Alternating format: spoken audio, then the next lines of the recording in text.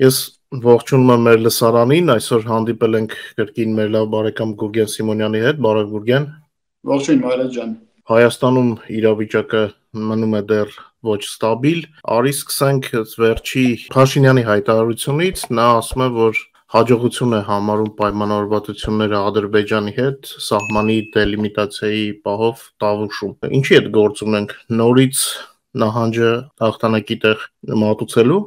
Գուցե, Մարատ ջան, անկեղծ ասած ես այնքան անտրամաբանական sense իրողություն եմ դա համարում, գուցե եւ որոշակի բաներ չգիտեմ, բայց ես ինքս ինձ հարց եմ տալիս։ Ենթադրենք այդ համոզմունքի հետևում կա երաշխավորի ինստիտուտ։ Սա համար 1։ Երկրորդը ենթադրենք այդ համոզմունքի հետևում կա Ադրբեջանի ազնիվ խոսք։ Սա երկուս։ Հիմա ես որպես Հայաստանի Հանրապետության քաղաքացի թույլ տվեք չհավատալ Ադրբեջանի նախագահի ազնիվ խոսքերին եւ որպես գիտության մարդ եւ փորձագետ թույլ տվեք չհավատալ, որ այս խառնակ իրողություններում համաշխարհային կարգը այդքան հաստատուն է, որ համաշխարհային երաշխավորի ինստիտուտը հավասարարժեք գործի։ Հետևաբար այս երկու հանգամանքը, եթե մենք իհարկե հանցակազմ պարունակող երևույթները չենք քննարկում, էլի իրականում համակողմանի վերլուծության համար ես ворթեգրել եմ մի մոտեցում, որ մարդու հանցավոր նկարտումները դեռևս չդիտարկել, որովհետև դա իմ խնդիրը չի։ Ես վերլուծաբան եմ, ուզում եմ համակողմանի հասկանալ այն հանգամանքը, որ ենթադրենք մարդիկ շահագրգռված են Հայաստանի Հանրապետության ազգային շահերը առավելագույնս պաշտպանելու ուղղությամբ աշխատել։ Հիմա այդ երկու հանգամանքներ, որ ես ինքս ինձ հարց եմ տալիս, համաշխարհային երաշխավորի ինստիտուտ, երկրորդն էլ Ադրբեջանի ազնիվ խոսք ոչ ադրբեջանի ազնիվ խոսքը եւ շատ ներողություն այդ երեշխավորի ինստիտուտի հանգամանքը ինձ համար համոզիչ չեն, որ ես համարեմ, որ այս գործընթացը, որը ծավալում է Նիկոլ Փաշինյանը, տրամաբանական է։ Հետևաբար ինձ համար անհասկանալի է։ Անկեղծ եմ ասում, անհասկանալի է։ Եթե կրկին շեշտեմ, որ կանխավ հանենք այն հիպոթեզը, որ որևէ ապա հայկական ինչ որ պայմանավորվածություններ կա։ Դա ժամանակը ցույց կտա, մեր խնդիրը չէ հիմա դա քննարկելու։ Հետևաբար, եթե ես հենվում եմ այդ երկու վերլուծության վրա, որ աշխարհակարգի անկայուն իրավիճակով համաշխարհային երաշխավորի ինստիտուտը հավասարարժեք չի գործելու եւ նկատի ունենալով այն հանգամանքը, որ Ադրբեջանն առավել եւս Իլհամ Ալիևը շատ հա, լավ հասկանում են, որ Նիկոլ Փաշինյանը իբրև Հայաստանի Հանրապետության վարչապետ ժամանակավոր երևույթ է, եւ այն քաղաքականությունը, որը նրա կառավարությունը իրականացնում է, կրկին ժամանակավոր երևույթ է։ Նրա մեր շատ ավելի շահեկան կլինի Հայաստանի ողնաշարը ջարդելուն քաղաքականությունը իրականացնել, որ ապագայում, ապագա սերունդների համար հայկական խնդրեմ այլևս չլինի։ Առանց այն էլ ինքը արդեն սևացված կերպար է, չէ, ցեղասպան կերպար է, ցեղասպանության խարանը իր վրա վերցված, վերցրած։ Նկատի ունենալով այս եզրահանգումները, ես ակնկալում եմ հակառակը պնդող կողմերից հավասարարժեք հաստարկված ապացույցներ իմ այս կասկածները ցրելու համար։ Քանի նման ես ապացույցներ չեմ ստացել, ես համարելու եմ այս գործընթացը արկածախնդիր եւ համարելու եմ այս գործընթացը Հայաստանի Հանրապետության ազգային շահերը տապալող դավադիր պայմանավորվածություն։ Մնացածը արդեն թողնենք տեսնենք ինչպես են փորձելու իջիկ դարձնել քաղաքացի Գուրգեն Սիմոնյանի կասկածները։ Տես ընդհանրապես արտաքին քաղաքականության ուղղությամբ հարցերը ավելի շատ են, քան պատասխանները։ Անվտանգության խորհրդի քարտուղարը հայտարարել է, որ Հայաստանը Ռուսաստանին չի խնդրել սահմանապահներին դուրս բերել հայ-իրանական եւ հայ-թուրքական սահմանից։ Դա արդեն բոլորի համար բարձ էր, երևի թե հայտարարությունը գրեթե ոչինչ չի փոխում։ Այս դեպքում պետք է հարցնենք իշխանամետ այդ խոսող գլուխները, հա, կամ սազանդարները, ինչպես մենք ասում ենք, ինչի մասին էին խոսում։ Ռուսաստանը հեռանում է Հայաստանից, ուր է հեռանում։ Սյունիքից կամ որոշ կետերից վայքից գնում են Գյումրի։ Մենք ինչի հետ գործ ունենք։ Անհամաձայնություն է, թե այս խառնաշփոթ ստեղծելով պարզապես փորձում են մեր հանրությունը շեղել իրական գործընթացներից օբյեկտիվության սահմաններից դուրս չգալով ես որ իբրև անկողմնակալ վերլուծաբան ասեմ հետեւյալը որից տեղեկատվություն ունեմ ուղղակի անոններ չբարձրաձայնելով որ այն ամենայնիվ Հայաստանի Հանրապետության իշխանությունները ցանկանում են փոկվել ռուսական իրողություններից ինձ հավաստիացնում է որ տեմպն է ձեր ակնկալիքներից տարբերվում Բայց եթե ես հիմնվեմ այդ պնդման վրա, որ այն ամենայնիվ Հայաստանի Հանրապետության իշխանությունները միտված են փոխվելու եւ Հայաստանի Հանրապետության ինքնիշխանությունը ավելի հաստատուն դարձնելու եւ ազատագրելու ի վերջո այդ խարանից 30-ամյա, որ Հայաստանի Հանրապետությունը վերածվել է ֆորտպոստ, ապա իմ գնահատմամբ շատ սխալ ռազմավարություն է որթեգրված, որը որ դանդաղ է այդ գործընթացը ծավալում։ Ինչու՞։ Որտեղ ես համարում եմ, որ եթե Դուք գտնվում եք հրեշի երախում, որ ընդամենը մեկ քայլ է մնացել ձեզ կուլ տալու։ Դուք այդ երախի մեջից վազքով կայծակնային արագությամբ պետք է փորձեք դուրս գալ, ոչ թե դանդաղ ճեմելով։ Դանդաղ ճեմելով չի կարելի, ժամանակները փոխվում են մենք չգիտենք ինչ իրողություններ աշխարհակաղակական կդասավորվեն, հետո այն հանգամանքները, որոնք որ դուք առայժմ չէիք փորձում իրականացնել, անհնարին կդառնան Հայաստանի Հանրապետության եւ հայ ժողովրդի համար։ Գուրգեն, դու հավատում ես իրենց ասածին, չէ՞ որ Չեմ հավատում, բայց ես փորձում եմ անկողմնակալ։ Ես իմ ասել եմ, որ իմ վստահության չափաբաժինը սպառված է։ Ես չեմ վստահում այլևս Նիկոլ Փաշինյան։ Փաստերին հավատանք, չէ՞ ոչ թե խոսքերին։ Ռուսաստանի մարզերի հետ բեռնաշրջանառության աճով Հայաստանը առաջ է անցել Չինաստանից։ Հիմա սա կամած-կամած Ռուսաստանից հեռանալ է, թե Ռուսաստանի հետ ավելի ընդլայնել համագործակցությունը։ Մենք գործերին հավատանք, թե ասենք խոսքերին, որ դու ասենք տեղեկատվություն ունես, թե փաստերին, որ Չինաստանին է անցել Հայաստանը Բեռնաշրջանառության աճով։ Որին միանշանակ միանշանակ պետք է հիմնվել գործերի վրա։ Տեսնում ենք այն, ինչ որ տեսնում ենք բայց ես սկզբում նշեցի, որ ես փորձում եմ վերլուծել այն հանգամանքը, որ ինձ ուզում են հավաստիացնել Բայց ինչ վերաբերվում է անձամբից, ես այդ վստահության կոմպոնենտը այլևս չունեմ ներկայիս իշխանությունների համատեքստում, չեմ հավատում, որովհետև ես իմ աչքի առաջ ունեմ 6-ամյա ժամանակահատված նրանց կառավարման տարիների, որը որ իմ գնահատմամբ չափազանց անարդյունավետ եւ վտանգավոր է եղել Հայաստանի Հանրապետության ազգային շահերի եւ ազգային անվտանգության համատեքստում եւ այս իրողություններով պայմանավորված ես որևէ իրավունք չունեմ մարդկանց ասելու այն ինչ որ ինձ ասում են դա հավաստի է կամ հավաստի չէ։ Ես պարզապես ասում եմ, որ ինձ համակողմանիորեն համոզում են, որ նրանց ուղին միևնույն է փոկվելն է, բայց ես չեմ տեսնում դա։ Կամ տեսնում եմ չափազանց դանդաղ։ Հիմա օրինակի համար տեսանք Տավուշից, Վայոց ձորից, Արարատի շրջանից եւ Սյունիքի այդ ներքին հանդի շրջաններից հայտարարել են, որ ռուսական ներկայացուցչությունը զինված ուժերի դուրս է բերվում այդ կանաչ մարդուկները բայց ինձ համար դա բավարար չի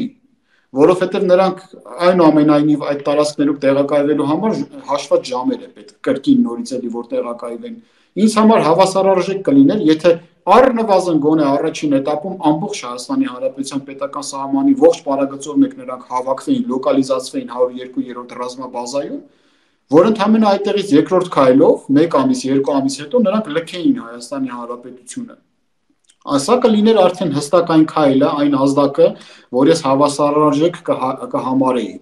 Բացի այդ, մենք տեսնում ենք այսքան ռուսական իրողությունների սերտաճած հանգամանքներ, թե տնտեսական առումով, թե քաղաքական փոխադարձ պայմանավորվածությունների առումով, թե Հայաստանի Հանրապետության դանդաղ շարժը դեպի Եվրամիություն եւ Հյուսիսատլանտյան անվտանգային համակարգ։ Այս հանգամանքները լիովին ինձ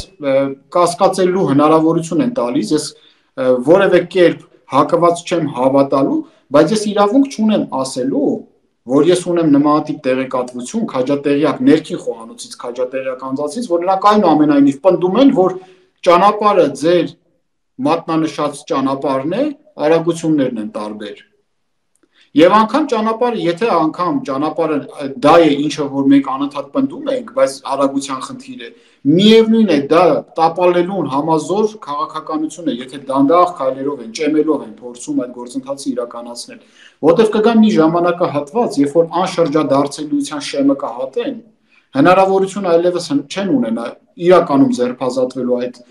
աղտեղություններից եւ դրանք նրանց կորսված դիրքերը կրկին կվերականգնեն եւ դեռ ավելի Մարդիկ չեն հասկանում, որ սա, եթե դու չես հերացնում այդ պարույրը, որը որ սեղմում սեղմում ես քո տարածքում, մի օր դա առազգականության տեսության համաձայն նորից էլի կընթարցակվի քո տարածքում։ Այդ պարույրը պետք է շպրտես դուրս Հայաստանի Հանրապետությունից։ Պետք չի նրան սեղմել հենց Հայաստանի Հանրապետությունում։ Եվ դա կլիներ ինձ համար հստակ ազդակ, որ Հայաստանի Հանրապետության ռազմաքաղաքական ղեկավարությունը որթեգրել է մոտեցում, արագ քայլերով ձերբազատվելու ռուսական ազդեցությունից Հայաստանի Հանրապետության վրա, որը աղետալի է, անկեղծ ասած, աղետաբեր։ Եկեք հələ մի պահ պատկերացնենք, որ Հայաստանի Հանրապետությունը, քանի որ մենք փոքր պետություն ենք եւ այդքան պետական ներուժ չունենք, շատերն ասում են դե եթե Ռուսաստանը չէ, ապա այլ ազդեցության գոտիները այնուամենայնիվ հնարավորություն կունենան մեր տիրույթները զավթելու։ Ես դրա հետ համակարծիք չեմ։ Ես համակարծիք չեմ, որովհետև Հայաստանի Հանրապետության նկատմամբ մեծ ուշադրություն ունի արևմտյան ուղղությունը, իսկ արևմուտքը այն տարածքներ, որտեղ պրոտեկցիայի կարգավիճակով մուտք է գործել պատմության ընթացքում միշտ գրեթե, առավել եւս նորորյա ժամանակահատվածում, այդ տարածքները չի վերածել իբրև իր ծայրամասային աղբանոց այդ տարածքները ի վերջո իրենք կարողացել են իրենց ներուժը կൂട്ടակելով հզորացնելով նոր նոր գործոն դառնալ իրենց իսկ տարածաշրջաններում։ Վառօրինակը Եվրամիությունն է եւ եվրոպական աշխարհամասը, որ երկրորդ համաշխարհային պատերազմից հետո Մարշալի պլանով Միացյալ Նահանգները ամբողջ Եվրոպայի նկատմամբ հաստատեց իր գերակայությունը, որպիսի տնտեսությունները եւ ազգագրական այդ իրավիճակը ոտքի կանգնացնի։ Բայց հիմա Եվրոպան այնքան է հզորացել, որ կարողանում է ինքնուրույն քաղաքականություն իրականացնել։ Վառօրինակը Հարավային Կորեան է, Ճապոնիան է, Սինգապուրն է, ամբողջ այդ օկեանիայի պետություններն են։ Վառօրինակ անգամ Չինաստանն է։ Եկեք չմոռանանք, որ արևմուտքի մեծ մասամբ Անգլիայի հովանավորչության տակ գտնված երկիր է եղել Չինաստանը։ Կոլոնիա է եղել։ Տեսեք ինչ դե դիրքեր ունեն։ Իսկ ռուսական կոլոնիաների վառ օրինակը, ցայտուն օրինակները, որ մենք կարող ենք վերել, դա Մանջուրիան է։ Ուր է հիմա Մանջուրիան։ Չկա։ Ընդ որում ես ուզում եմ հիշատակել մեկ հանգամանք, որ ես դա կարդացել եմ Ռուսաստանի ռուսական խորթային միության սպաներից Բարսաշյան գեներալներից Սվեչինի գրքում Սվեչինը մի օրինակ էր բերում, որտեղ հումանիտար կապիտալի արժեքաբանական մոտեցումները ցայտուն ընդգծում էր։ Ասում էր, երբ որ խորթային բանակը ճապոնական զինված ուժերից զավթում է Մանջուրիան, մայրցամաքային Եվրասիայից մի կտոր Մանջուրիան, սովետական խորթային բանակը մուտք է գործում այն ռազմական ավանները, որոնք ճապոնացիները հեռանալուց իրենց իրենցից հետո թողնել թողել էին։ Ու այնպիսի մի հիացմունքով է պատմում, թե ինչ էին թողել ճապոնացիները, այդ զորանոցները այնքան հրաշալի, մշակված ենթակառուցվածքներով, մայթերով, ծաղկապատ փողոցներով եւ այլն եւ այլն, որ խորթային միությունը ափսոսում է զինվորական ավան թողնել դա։ Դարձնում է քաղաքացիական բնակավայր։ Եվ 1 տարի հետո քաղաքացիական բնակավայր դառնալուց հետո տեսեք որտեղ զինվորականները, որտեղ քաղաքացիականները, չէ՞։ 1 տարի հետո աղբավայրի են վերածում այդ ավանը։ Ստեղից Սվեչինը համեմատական է հասկացում, ասում է տեսեք Ճապոնիայի զինված ուժերի քաղաքակրթվածության աստիճանը եւ խորթային միության քաղաքացու քաղաքակրթվածության աստիճանը։ Եվ այս անթրոպոլոգիական տարբերություններն են, որ մենք համեմատական ենք անցկացնում, տեսնում ենք Աբխազիայի օրինակը տարբերություն է Աջարիայից։ Տեսնում եք Հայաստանի օրինակը եւ 30 տարի առաջ ռուսական իրողություններից գոնե անվտանգային եւ պաշտպանական իրողություններով անջատված Ադրբեջանի օրինակը 30 տարի մեզ համոզում էին այլ իրողություններ էին համոզում, բայց դուք տեսաք, որ Ադրբեջանը զուտ միայն այն բանի համար, որ տարածաշրջանում ուներ մեծ եղբոր կարգավիճակ ունեցած Թուրքիա, որը ՆԱՏՕ-ի հետ սերտաճած պետությունը եւ ՆԱՏՕ ստանդարտներով զինված ուժեր կայացնող պետությունը տեսակ ինչ թռիչքաձև զարգացում ունեցավ 20 տարվա ընթացքում տեսանք չէ մենք ակնառու դա տեսանք հիմա հետեւաբար հարց. Այդ ռուսական իրողություններին որ դուք անընդհատ Հայաստանի Հանրապետությունը փորձում եք կապել Որն է դրա տրամաբանությունը առավել եւս այն իրողություններում, երբ որ ձեր երեխաները, ձեր ընտանիքի անդամները Այդ թվում նաև ձեր այդ պաշտելի Ռուսաստանի ռազմաքաղաքական ղեկավարության երեխաները Եվրոպայում են ապրում։ Ինչ է, երկրի վրա դժոխք եք ուզում ստեղծել ձեր ժողովրդի համար, բայց դուք ձեր ապագան կապեք արևմուտքի հետ, անձնական, ընտանեկան ապագան կապեք արևմուտքի հետ։ Սա ուղղակի ինձ համար անտրամաբանական է եւ սա ուղղակի ինձ համար մի ողբերգական հարց է, որ ես ուզում եմ դրա պատասխանը գտնել։ Իհարկե, այս իմ ասացին առյուծի բաժինը մեղադրանքների հնչում է այդ 5-րդ չարասյուն կոչեցյալին, այդ ներվային հիպոթեզերը սпасարկողների վրա, բայց նաև ես սկսել եմ կասկածել, որ Հայաստանի Հանրապետության իշխանությունները հավասարարժեք քայլեր չեն անում այդ իրողություններից փոխվելու համար։ Սա մենք պետք է ֆիքսենք։ Եվ ես ունեմ կասկածներ, այդ կասկածները բարձրաձայնեցի եւ ակնկալում եմ, որ այդ կասկածները փորձեն ցրել որովհետև քաղաքացիական հասարակության մեջ միայն ես չեմ, որ մարդիկ կասկածում են։ Ես ուղղակի կարողանում եմ այդ կասկածները բարձրաձայնել եւ ավելի շատ մարդիկ են կարողանում դրանց ականջալուր լինել եւ հասկանալ։ Հետևաբար ես ակնկալում եմ պատասխանել, ինչի հիման վրա եք դուք հավատում միջազգային երաշխիքի ինստիտուտին, Ադրբեջանի ազնիվ խոսքին եւ ռուսական իրողությունների պատշաճ լինելու ներկա իրողություններում մեր մեզ համար։ Եթե ոչ, ապա ամեն գնով ազատագրվելու քաղաքականությունը վազքով, թռիչքաձև եղանակով ինչի՞ չեք իրականացնում։ Դες դու ասացիր 5-րդ Շարասյան պահը, որպեսի բարդ քաղտեխնոլոգիական տերմիններով չասեմ, սա պարզապես արհեստական տրիգեր է ստեղծվում, որ ասեմ, տեսեք, մենք չենք կարող իբր թե հեռանալ Ռուսաստանից, որովհետև ներքին պահանջարկ կա, ներքին օպոզիցիա կա, քննադատություն կա։ Շատերը հարց էին տալիս, ինչու միջև հիմա լյուստրացիա չի արվել, սա չի արվել, նա չի արվել։ Պատճառներից մեկն էլ սա է, որովհետև իշխող ուժին ձեռնտու են նման ընդդիմություն, քանց թե ասենք Եվրոպայում այդ ընդդիմություն, որը որ կոնկրետ հարցեր պետք է առաջադրի կոնկրետ առաջընթացի մասով։ Շատ ճիշտ ասացիր, որ ժամանակը քիչ է, Եվ եթե մենք նախորդ իշխանությունների օրոք կորցրել ենք ժամանակը, չենք զարգացել, ապա հիմա դա հասկանալով պետք է որ ժամանակ չկորցնեինք բայց տեսնում ենք հակառակը խոսքերով արևմուտք հա բայց մնացած ամենով այլ բան տես հետաքրքիր մի ջրբաժանի ենք մոտենում 50 երկրներից ավել արդեն հայտարարել են որ շվեյցարիայում կմասնակցեն զելենսկու խաղաղության ֆորմուլայի քննարկմանը հա փաստորեն ստեղծվում է կարծես թե նոր մակ հա նոր մակի հիմքն է ստեղծվում, որտեղ որոշող երկրները, այդ լոկոմոտիվ երկրները, առաջատար երկրները իրենց համոզմունքները արձանագրելու են, ինչպես են տեսնում պատերազմի ավարտը, քանի որ մենք տեսանք, մենք շատ ենք խոսել այդ մասին, որ ՄԱԿ-ը եւ միջազգային շատ կառույցներ իրենց սպառել են, քանի որ արդեն հետ են մնացել շատ ժամանակից։ Այո։ Այսինքն պետք է ստեղծել նոր կառույցներ։ Մենք տեսնում ենք, որ նույնիսկ ՆԱՏՕ-ն, որ շատերի համար երազանք է, նույնիսկ ՆԱՏՕ-ն պատրաստ չէր նման պատերազմի Ռուսաստանի հետ։ Այսինքն ՆԱՏՕ-ն էլ ռեֆորմի ենթարկվում Ուկրաինայի շնորհիվ, Ուկրաինայում պատերազմի, ասենք, հետևանքով։ Հիմա տես արդյոք Փաշինյանը կլինի այս մոլորակում այսպես ասեմ, հա, նոր որը որ ստեղծվում է հնի հիման վրա թե կմնա ռուսական մոլորակում։ Ես մի պատկերավոր ասացի։ Ինչպես է տեսնում կգնա Փաշինյանը միջոցառմանը, որտեղ լինելու են աշխարհի բոլոր որոշող երկրների ղեկավարները։ Թե ելի կասեն կամած կամած ենք փոկվում Ռուսաստանից, միգուցե վախենան նորից ասեն, որ չզայրացնեն, ինչ կարծիքի ես։ Քո համար Շվեյցարիայի այս սամիտը ինչ է նշանակում եւ ինչ կնշանակի Հայաստանի մասնակցությունը եւ չեմ մասնակցությունը։ Միանշանակ համաձայն եմ, որ դա համաշխարհային նոր կարգի ճարտարապետության հիմքերն են դրվում Եվ արդեն մենք որպես այդպեսին կանխատեսելի որոշակի բաներ կարող ենք հասկանալ։ Ընդ որում միջազգային իրավունքի լիիրավ սուբյեկտի հասկացությունն է սկսում ճոճվել։ Նախկինում հետ Վեստֆալյան աշխարհակարգում 1648 թվականի Վեստֆալյան աշխարհակարգով հաստատված միջազգային իրավունքի լիիրավ սուբյեկտ էր համարվում միայն պետությունը Այսօրեական իրողություններում անգամ ՄԱԿ-ում միջազգային իրավունքի սուբյեկտները բազմազանեցվել են։ Դրանք արդեն անդրազգային կազմակերպություններն են, միջպետական, վերպետական կազմակերպություններն են, այնպիսիք ինչպիսիք օրինակ Եվրամիությունն է, այնպիսիք ինչպիսիք օրինակ ՄԱԿ-ն է։ Ռազմաքաղաքական դաշինքներն են, օրինակ ՆԱՏՕ-ն, տնտեսական դաշինքներն են արդեն լիիրավ սուբյեկտի կարգավիճակ ձեռք բերել եւ ինչքան էլ որ տարօրինակ չի անդրազգային կորպորացիաներն են սուբյեկտի դերակատարություն ձեռք բերում օրինակի համար British Petroleum-ը, Samsung-ը, Coca-Cola-ն, SpaceX-ը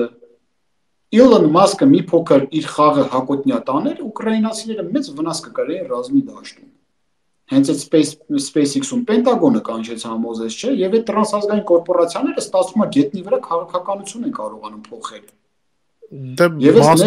մի քիչ ուրիշ է, որովհետեւ այնտեղ հենց պետական ֆինանսավորումն է եւ ավելի շուտ իրեն կհանեին գործից, քան թե չէին թողնի։ Մի խոսքով, տրանսազգային կորպորացիաները արդեն սուբյեկտի կարգավիճակ են ձեռք բերում եւ այլն։ Եվ այս հանգամանքում ես օրինակ ակնկալում եմ եւ տեսնում եմ, որ մոտ ապագայում, եթե ռազմական գործողությունները շուտ ավարտվեցին, եւ հարաբերական անցնցում ավարտվեցին, ապոկալիպտիկ որևէ իրադարձությունների չգնացին, ապա կարծում եմ, որ ՄԱԿ-ի անվտանգության խորհրդի մշտական անդամները այլևս չեն լինի դա կլինի ռոտացիոն կարգով փոփոխելի ինչ որ մի իրողություն, ընդ որում ժողովրդավարական երկրների համատեքստում։ Սրանով կընդգծվի ժողովրդավարության կարևորությունը ավտորիտարիզմի մեջ։ Եթե ժողովրդավարական պետությունները կունեն պրեֆերենցիաներ ապագա միացյալ ազգերի կազմակերպությունում եւ այդ ՄԱԿ-ի մշտական անդամների կարգավիճակը լուծարվելուց հետո ռոտացիոն կարգում անվտանգության խորհրդի անդամներ կդառնան բացառապես ժողովրդավարական երկրների ներկայացուցիչները, բացառապես ժողովրդավարական երկրները։ Ստացվեց, որ մենք մտել ենք մի նոր աշխարհակարգ, որտեղ ավտոկրատիաները հնարավորություն չունեն։ Ցանկացած ավտոկրատիա, որ կփորձի բիրտ ուժով ռազմական գործողություններ սանձազերծի, ՄԱԿ-ը անմիջապես անվտանգության խորհրդում վետո կդնի այդ գործողությունների իրավասության վրա եւ կզորաշարժի ամբողջ քաղաքակիրթ աշխարհը ընդդեմ այդ ավտոկրատիայի։ Ես կարծում եմ, որ այս ուղղությամբ է աշխարհը ընթանում։ Հիմա ինչ վերաբերում է Նիկոլ Փաշինյանը կայցելի թե չի այցելի, անկեղծ ասած չգիտեմ։ Ինձ համար այնքան անկանխատեսել անկանխատեսելի են դարձել որոշումների կայացման հարացույցը Հայաստանի Հանրապետությունում, որ ես իբրև որևէ հատուկ տեղեկատվությանը ոչ հասու վերլուծաբան,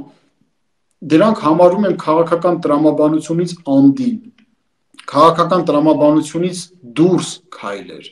Հետևաբար ես այսօրեական իրողություններով, նաև նկատի ունենալով այն սոցիոլոգիական հարցումները, որոնք մենք տեսնում ենք,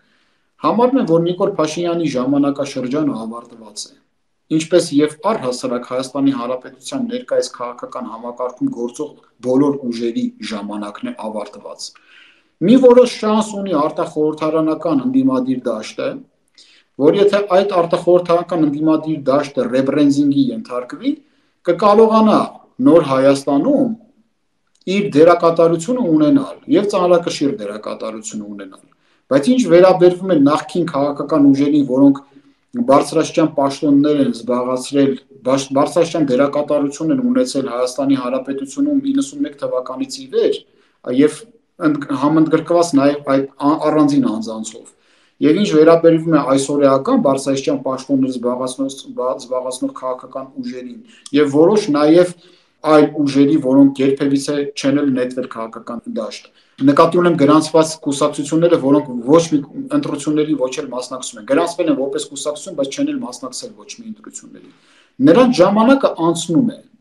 Ժամանակներին հասունանում Հայաստանի Հանրապետությունում նոր դերակատարների ի հայտ գալու։ Եվ այդ նոր դերակատարներով եմ ես պայմանավորվում ապագա Հայաստանի այն տրամաբանական քաղաքականությունը, որը քաղաքակիրթ աշխարհի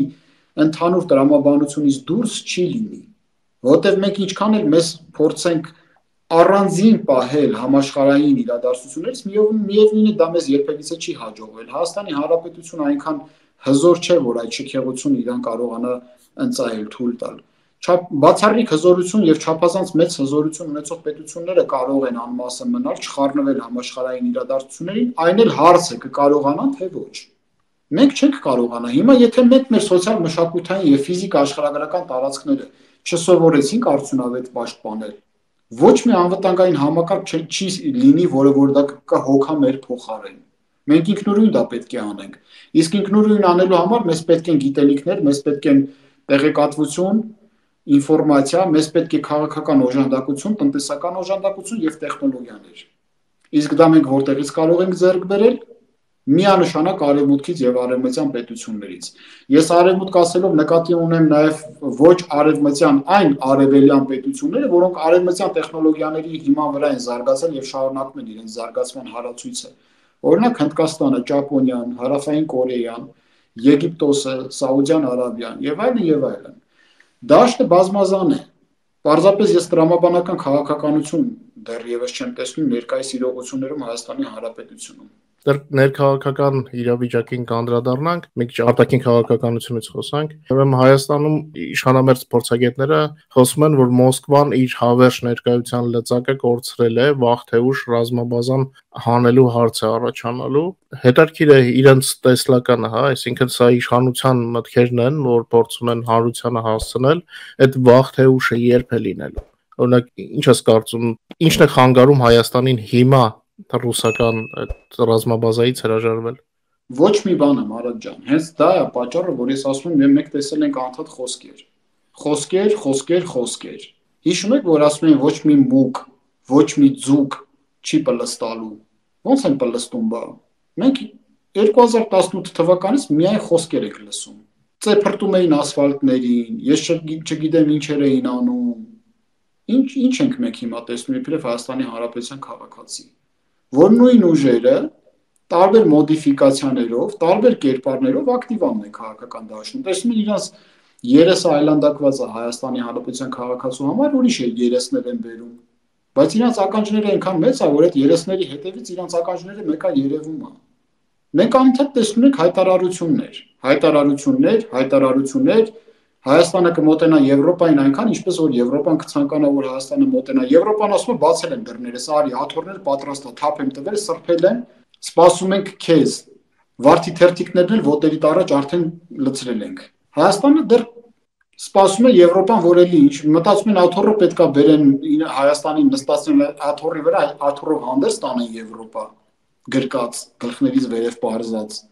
անտրամաբանական է բարեր բարեր բարեր բարեր հետո էլ մեզ են մեղադրում. Խոսում եք խոսում եք խոսում եք քննադատում եք խոսում եք որովհետև մեր ձեռքը լծակ չկա մենք հիմա ինֆորմացիոն տեղեկատվական դաշտում պատերազմ ենք մղում ստի եւ կեղծիքի դեմ էս ենք կարում հիմա անենք ապագայում կկարողանանք ավելին անել, ավելին կանենք, համոզված եղեք։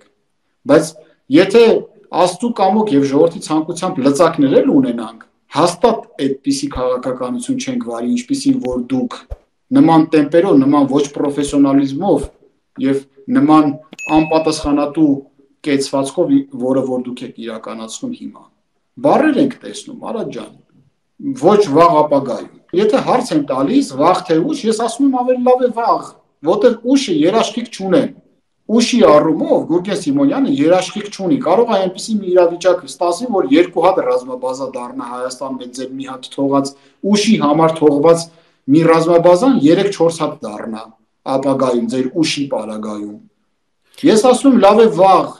այդ երախից կայծակնային արագությամբ վազքով դուրս պրծեք, ոչ թե ճեմելով։ Կրկին հայտարարություն էր։ Սիրելի ժողովուրդ, առհասարակ ես ուղակի հորդորում եմ մեզ բոլորիս դադարենք լսել։ Հերիք է վստահենք մեր ականջներին։ Եկեք վստահենք մեր աչքերին։ Եկեք տեսնենք։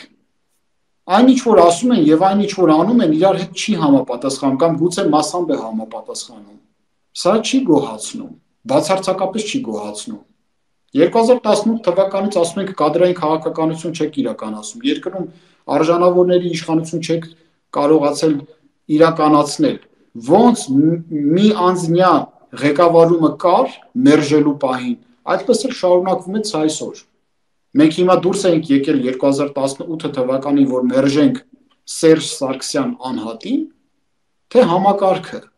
Սերժ Սարգսյանը ինքն իրանով ուղակի Հայաստանի Հանրապետության քաղաքացի է։ Ես հակված չեմ ինչ որ մի Հայաստանի Հանրապետության քաղաքացու անձնապես մերժելու։ Ես կարամ նրան հավանեմ, չհավանեմ, ընդունեմ, չընդունեմ, բայց չմերժեմ։ Դատապարտեմ, չդատապարտեմ։ Ես դուրս եկա մերժելու սերժիզմը։ Այն համակարգան, որը որ Հայաստան այս իրավիճակի մեջ էր պահում։ Ես չեմ ասում, որ գցել էր, որովհետև Սերժն էլ եկավ արդեն իսկ գցված այդ իրավիճակում, բայց պահում էր այդ իրավիճակում։ Եվ փորձում էր կրկին պահել 2015 թվականի սահմանադրությամբ, բայց բանից պարզվում է, որ մենք անձնապես Սերժ Սարգսյանին մերժեցինք, բերեցինք Նիկոլ Փաշինյանին, բայց համակարգը մնաց նույնը։ Հիմա այդ իրողություններում ինչքան մենք պետք է ապավինենք բարերին, խոսքերին։ Ինչքան պետք է անընդհատ ասում են. Կենաց հասածների նման գեղեցիկ բարեր են ասում։ Ասում են, բա դուք ինչ եք արել։ Ես իբրև Հայաստանի Հանրապետության քաղաքացի ինչ որ հնարավորություն ունեցել եմ, արել եմ։ Սկսած Հայաստանի Հանրապետության ծանրագույն իրավիճակներից պատերազմից միջև խաղաղության ժամանակահատված եւ տեղեկատվական դարաշրջան, որ ես հիմա չեմ հավասարվում որոշ մարդկանց, որ պաշտոններ բաներ ունենամ։ Ես իմ արդար ճանապարհից չեմ շեղվում։ Փաշինյանի падգամավորներից մեկը հարցազրույցում ասել է, որ երբ հստակ ազդակ լինի ԵՄ-ից, մեր քայլերն ավելի արագ եւ ճկուն կլինեն հետարքիր է, երբ որ Տիգրան Բալայանի Հայաստանի դեսպանի հայտարարությունից հետո այդ ազդակներից հետո, որը որ գործից չհանվեց, ուրեմն իշխանական մեսեջեր, չէ, այն ինչ որ ասաց Տիգրան Բալայանը, դա ուրույն էր։ Այսինքն այդ ազդակները ուղարկելով Եվրոպային ուրիշ ազդակների ենք սպասում։ Այս էլի խոսքերի եւ մանիպուլյացիայի ականատես ենք դառնում։ Իրենց թվում է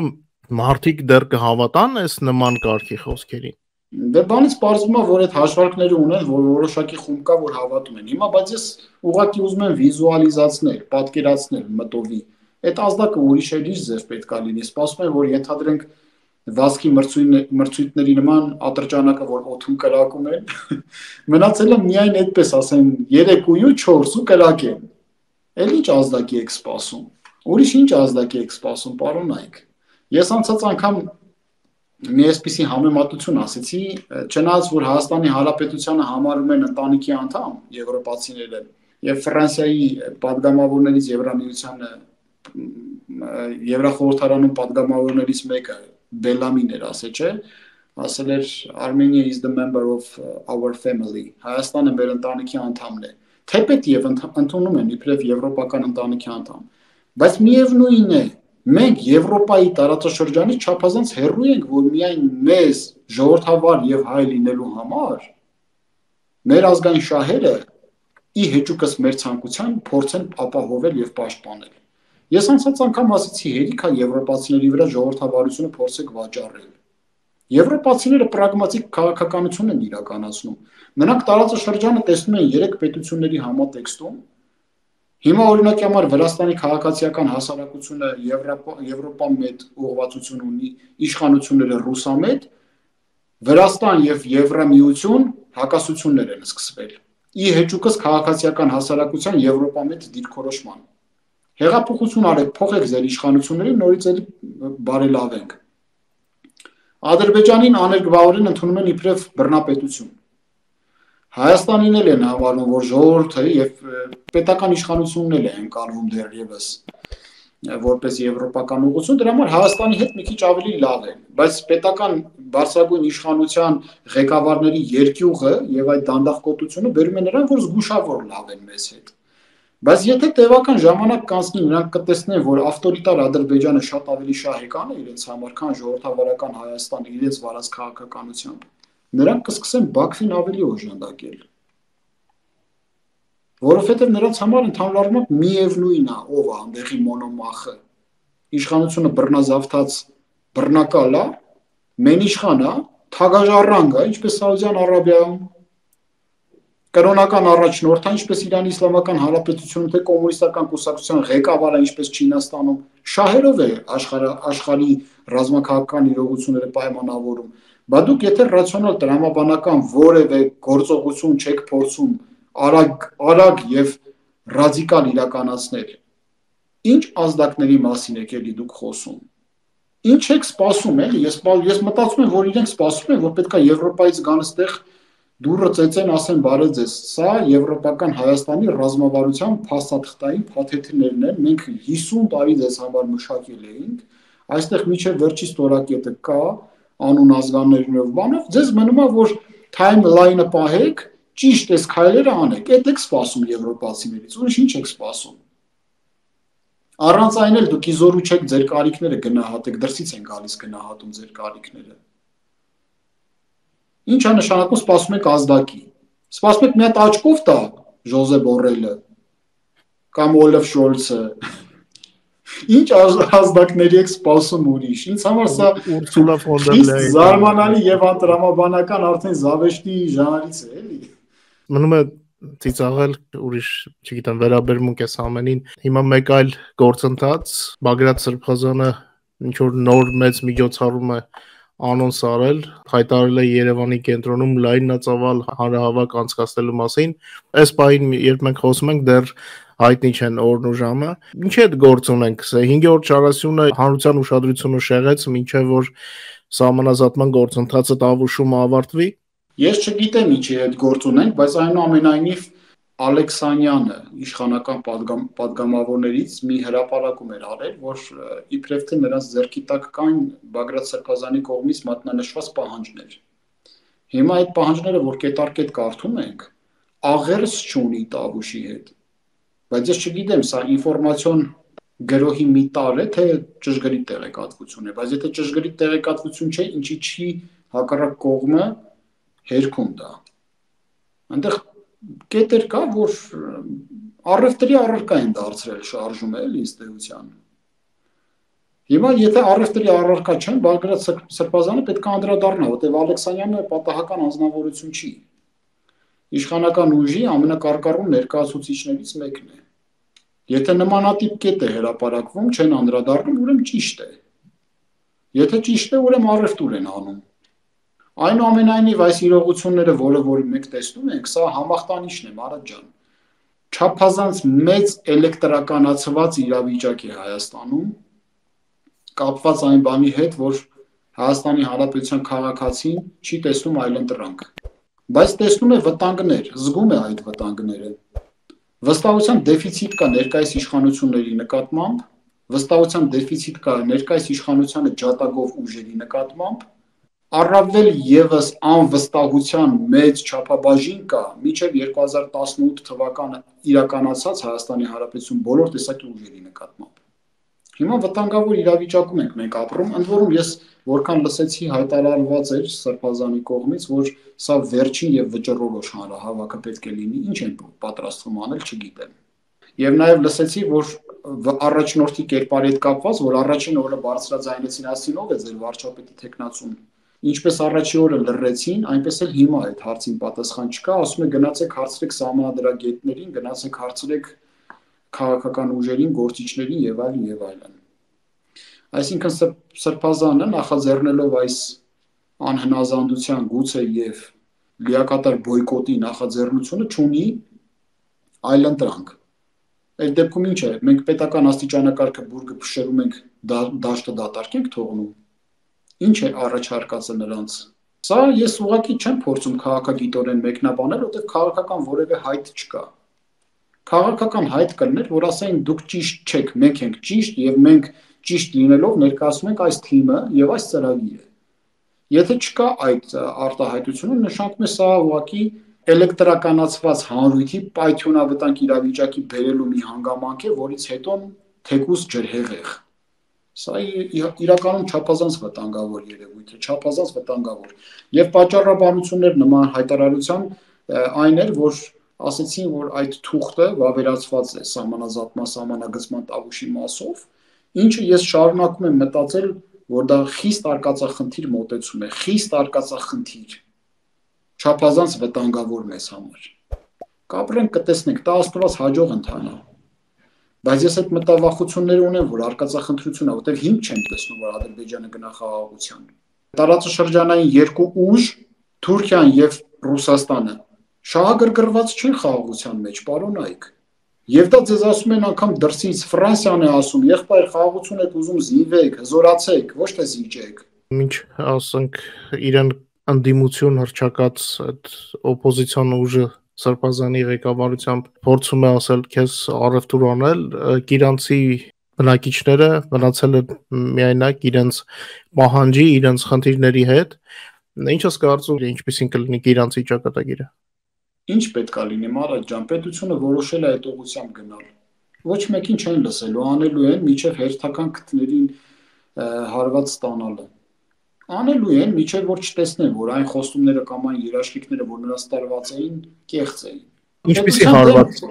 կարող են ստանալ, ինչ Ադրբեջանը ուխտադրուժորեն չգնա ընթառաջ։ Այն տարածքներից, որ ինքը պետքա դուրս գա, չդուրս գա։ Պարզ չի, որ չգնալու։ Հիմա պարզ չի։ Ինձ համար պարզ է։ Ես ու կասկած չունեմ բայց գուցե մարդիկ երաշխիքներ են ստացել։ Ես հետ եմ ասում էլի, որ այդ երաշխիքներին ոնց եք հավատում։ Այդ երաշխիքներին մի տոկոս հավատալու հնարավորություն կա ընդհանրապես։ Ներքին իրավիճակը տեսնում ենք փոփոխությունների է ենթարկվում։ ՀՆ-ը փորձում են նոր դեմքերով նորից ի հայտ գալ։ Մյուս կողմից էլի քաղաքական ուժեր, որ առաջ կոալիցիա կազմել էին եւ ներկայացել էին եւ ձայներ չէին հավաքել հիմա նորից կարծես փորձում են Եվրոպամետի դիմակով, հա, այսպես իմ գնահատականն է Եվրոպամետի դիմակով հանդես գալ, որպիսի ջլատեն նաեւ Եվրոպամետ ուժերը, այսինքն Եվրոպամետ չասենք հայամետ ուժերը, իրական հայամետ ուժերը, ովքեր Հայաստանի ապագան պատկերացնում են եվրոպական քաղաքակրթությունում։ Ինչ զարգացումներ սպասենք, արդյոք նրանց այդ ձեռնարկը կհաջողի։ Մանուկ ջան, ես անկեղծ ասած տարակուսած եմ նաև օժանդակելու համար այդ կոալիցիային, որ ձևավորվել է, այսպեսի մի խորհուրդ էլ կտամ, որովհետև եթե ինձ հարցնեին ավելի թակնահարույց այդ խորհուրդը կտամ, ուղղակի post factum է սա արդեն առելուսում այդ իրողությանը, արձանագրում է, որ կոալիցիան ձևավորված է եւ խիստ իշխանամետ դիրքավորումից։ Հարգելիներս, դուք չեք տեսնում վստահության չափաբաժինի իշխանության նկատմամբ։ Ես անկեղծ ուզում եմ, որ իրանք հաջողեն Եթե ոչ իշխանություն, ապա գոնե ընդդիմության կարգավիճակով մտմուտք գործեն խորհրդարան, հաստատ ավելի լավ խորհրդարան կունենանք, քան հիմիկվա խորհրդարանն է, եթե այդ պարոնները մուտք գործեն խորհրդարան։ Եվ ազնիվ եղբայրաբար ուղղակի ասում եմ, դուք չեք տեսնում սոցիոլոգիական հաշվարկները։ 60-ից 70% մարդ դժգոհ է Նիկոլ Փաշինյանից եւ նրա կառավարությունից։ Հիմա երբ որ դուք ներկայանում եք իբրև Նիկոլ Փաշինյանի քաղաքական ուժի ջատագով Հիմա եթե դուք տեղավորվում եք այդ նիշայի մեջ, որ տոկոսների վրա շանս ունեք ապագա ընտրություններում, այն տոկոսների, որը որ Նիկոլ Փաշինյանը այսպես թե այնպես ունի, ձեզով պետք է այդ այդ տոկոսներից ինչ որ մեկը էլի ձայն տա։ Դուք ձեր դու եթե դուք ենթադրում եք, որ ձեր օբյեկտիվության ծիրից վաստակած ձեր չափաբաժինը գնալու է գումարվի, դուք սխալվում եք։ Ձեր դիրքորոշման պատճառով դուք կորցնում եք ձեր ձեր շուրջը դիրքավորված այդ հնարավորությունները կերպա փոխվելով, բացառապես իշխանական ուղությունը սпасարկելով, դուք կորցնում եք, չեք ավելացնում Նիկոլ Փաշինյանին, այլ դուք եք կորցնում։ Ինչի՞ եք որոշել, որ պետք է այնուամենայնիվ քաղաքացիական պայմանագիր կուսակցությունը շարունակի իր ընթացքը։ Ինչի՞ չէիք ուզում դուք շարունակեիք այդ ընթացքը։ Իբրև առանձին որևէ կապ չունեցող թե նախքին թե ներկա իրողությունների հետ։ Ինչի՞ չէիք ուզում առանձին դուք գնայիք մենք տեսնում ենք, որ կա կարիք իրական Եվրոպամետ ուժի, այսինքն հայամետ ուժի, ինչու ես չեմ հավատում, ինչու եմ ասում դիմակ է եվրոպական այս ուժերը, որ նոր կոալիցիան, որ փորձում են իշխանամետ ուժերը ստեղծել, որովհետև եթե պարոն Փաշինյանը լիներ Եվրոպա մետ, դա մենք կտեսնեինք քայլերից, ոչ թե խոսքերից։ Այսինքն, եթե ինչ որ մեկը գալիս է նույնպես Փաշինյանի օրինակով խոսել Եվրոպայից, բայց քայլեր չանել, սա ակնհայտ է, ես իմ հարցազրույցներից մեկում ասացի, որ չեմ համարում իրական Եվրոպամետներ, որովհետև իրական Եվրոպամետը չի կարող աջակցել Փաշինյանին։ Փաշինյանի քաղաքականությունը ըստ երևույթին բազմավեկտորն է, բայց ոչ եվրոպականը։ Այո, կոմպլեմենտարիզմը կարելի ասել։ Այո, եթե ուժերը իրենց հայտարարում են Եվրոպամետ, բայց սատարում են Փաշինյանին, այսինքն իրենք Եվրոպամետ չեն եւ պարզապես պրոեվրոպական հայտարարություններով որոշ ցանկանում են շեղել իրական ուղուց։ Ըստ քեզ ինչպիսին պետք է լինի նոր իրական հայկական ուժը, որը պետք է Հայաստանի Հանրապետությունը բերի եվրոպական արժեքների, եվրոպական Հայաստան ստեղծի, որպեսզի ունենանք բարգավաճ եւ ապահով Հայաստան ուժը, որը որ պետք է ձևավորվի, պետք է լինի ազատարար, ազատատենչ ուժ։ Նախքին եւ ներկա, այդ թվում օտարի երկրի ազատությունից Հայաստանը թոթափող Հայաստանին ազատություն բերող ուժ պետք է լինի։ Իսկ ինչ է պետք դրա համար։ Պետք է գիծ քաշել, հստակ ասել այն ուժերը եւ անձինք, որոնք որ չեն կարող քեզ միանալ եւ մասը դառնալ։ Պետք է հստակ քաղաքականություն եւ ռազմավարություն իրականացնելու պլան ցույց տալ Եվ այդ բացի այդ պլանը դու պետք է կադրային կապիտալ ցույց տաս։ Նոր ուժը շնորհապետական ուժ պետք է լինի։ Նոր ուժը պետք է ազնիվ մղումներ ունեցող պրոֆեսիոնալներին հնարավորություն ընձեռող ուժ պետք է լինի, որը կարողանա Հայաստանի Հանրապետության ռեաբիլիտացիոն հնարավորությունները բացազատել եւ հնարավորություն տալ քաղաքացիական հասարակությանը, այդ թվում Հայաստանի Հանրապետության բարեկամ պետություններին Հայաստանի Հանրապետության ոտքի կանգնեցնելու քաղաքականությունը լիարժեք իրականացնել։ Տնտեսական բարեփոխումներով, տեխնոլոգիական, կրթական, գիտական, ենթակառուցվածքների, զինված ուժերի բարեփոխումների եւ զինված ուժերի թռիչքաձև զարգացման, պետական կառավարման համակարգի ռեաբիլիտացիայի միջոցով այդ թվում նաև նոր ուժը պետք է հստակ այսպիսի մի նախաձեռնությամբ հանդես գա, իր քաղաքական ծրագրում նշի, որ ընտրվելուց հետո 1 տարվա ժամանակահատվածում պետք է փոխի Հայաստանի Հանրապետության սահմանադրությունը, այս անձապաշտ սահմանադրությունից անց, անցում է պետք կատարել։ Սերժի կոստյումից դուրս գալ է պետք։ 1 տարվա ընթացքում կազմակերպի սահմանադրական հանրակրվե, ընդունի նոր սահմանադրություն, որը ուժի մեջ կմտնի հերթական ընտրությունների ժամանակ։ Այսինքն եւս 4 տարի էլ կկառավարես հին սահմանադրությամբ, բայց ոնց որ 2015-ին մենք հարակվեով ընդունեցինք սահմանադրությունը, բայց ուժի մեջ մտավ 18 թվականին, այդպես էլ ենթադրենք, եթե հերթական ընտրություններն է 26 թվականին ընտրություններն է 27 թվականի սահմանադրությունը փոխում ես 30 ականներին է գնող արդեն ընտրություններին նոր սահմանադրությամբ ես գնում ընտրությունների նոր ուժը այդպեսին պետք է լինի ես այդպեսին եմ պատկերացնում եւ ես ծավալուն աշխատանքներ եմ տանում, որ այդ նոր ուժի ներկայացումը իմ կողմից լինի, նաև այդ թվում նաև իմ կողմից չի բացառվում, որ էլի մարդիկ լինեն, որ նմանատիպ գաղափարներ առաջ քաշեն։ Եվ քանի որ ես իբրև Հայաստանի Հանրապետության քաղաքացի, երբևիցե քաղաքականության մեջ չեղած լինելով, երբևիցե ակտիվ քաղաքականությամբ չզբաղված, որոշել եմ մուտք գործել քաղաքականություն, ես ապավինելու եմ Հայաստանի Հանրապետության քաղաքացիների եւ առհասարակ հայ ժողովրդի օժանդակությանը։ Հիմնվելու եմ հայության կամքի եւ հայության օժանդակիչ ուժի վրա։ Այլ հնարավորություններ չունեմ։ Ես ներկայացնելու եմ իմ ինտելեկտուալ հնարավորությունները, իմ անձը, իմ կապերը, իմ հեղինակությունը, օժանդակությունը ակնկալելու եմ հայ ժողովրդից։ Հաստ քեզ ինչ է Եվրոպան Հայաստանի համար։ Ես իմ պատկերացումն ասեմ Ուկրաինայի օրինակով, հա, ինչ որ տեսել եմ ինչ է ձգտում ուկրաինացիները եւ ինչին այդքան նախանձեց Պուտինը եւ որոշեց վերջ տալ այդ ամենին, որովհետեւ հասկացավ բարվոք Ուկրաինան, զարգացած Ուկրաինան վտանգ է Ռուսաստանի համար, որովհետև Ռուսաստանի ժողովուրդն էլ կուզենա զարգանալ։ Եվրոպան դա առաջի հերթին անվտանգություն է։ Եվրոպան Հայաստանի համար անկախ Հայաստան է։ Եվրոպան կորցրած հողերի վերադարձն է, որովհետև եթե Հայաստանի սահմանը դառնում է Եվրոմիության սահմանը, այստեղ արդեն Ադրբեջանը չի կարող խաղեր տալ, հա, այսպես ասենք։ Եվրոպան բարեկեցությունն է, Եվրոպան սահմաններ, բարձր չափանիշն է, Եվրոպան տեխնոլոգիաներն է, կրթությունն է, վերջի վերջո Եվրոպան մեր տունն է, ինչ որ բան բաց թողեցի։ Ինչ է Եվրոպան ինձ համար։ Ինձ համար Եվրոպան ռազմավարական դաշնակից է։ Ռազմավարական դաշնակից։ Այո, Եվրոպան մեզ համար այդ բոլոր հնարավորությունների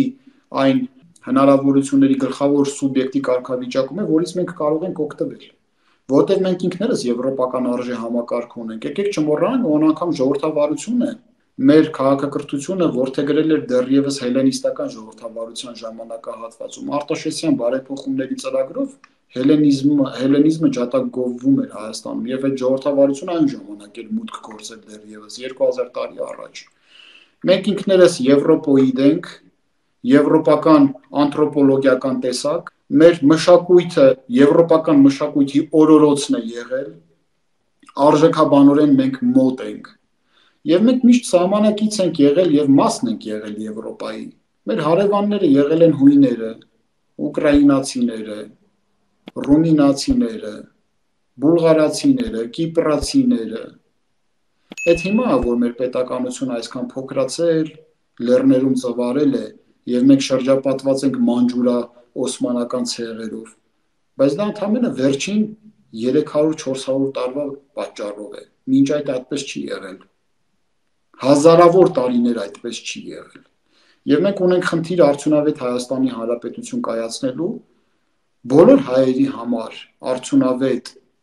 եւ անվտանգ տուն կայացնելու համար, աշխարհասփյուր հայերի համար Հայաստանի օջախ, հայկական պետականություն կայացնելու համար, որ որտեղ էլ որ հայը լինի, բնակվի, իր ուսերի հետևում պետության հզորություն զգա։ Մենք համահայկական ներուժը մոբիլիզացնելու Հայաստանի Հանրապետություն կայացնելու